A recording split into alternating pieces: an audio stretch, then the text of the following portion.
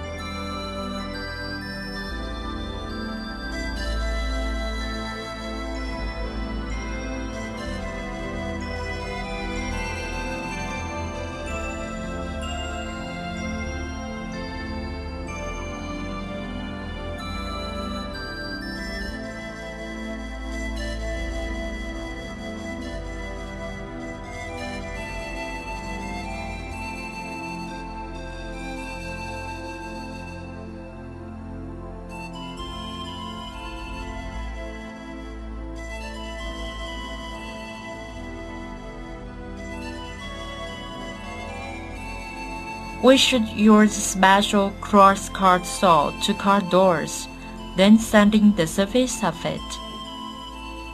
Dowel sharpening points.